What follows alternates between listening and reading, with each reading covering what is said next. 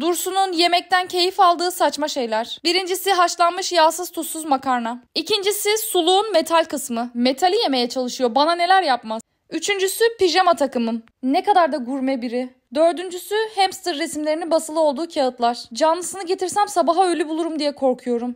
Şuna bakın adeta küçük bir yamyama dönüştü.